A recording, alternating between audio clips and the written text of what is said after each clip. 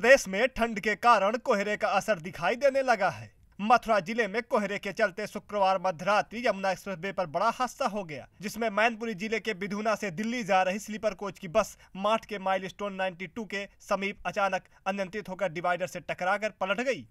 इसी दौरान पीछे से आ रही एक कार बस से टकरा गई, जिससे कार सवार तीन लोगों की मौके पर मौत हो गई। वहीं बस सवार एक दर्जन यात्री घायल हो गए।